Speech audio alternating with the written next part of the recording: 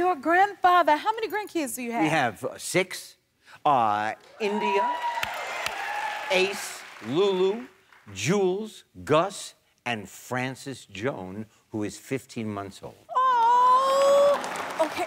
We have a clip of you with the young kids. Can we see it? It's Frances and Papa again. We've got our third fruit song. It's about a banana. The banana is delicious and sweet. You peel it and then you eat.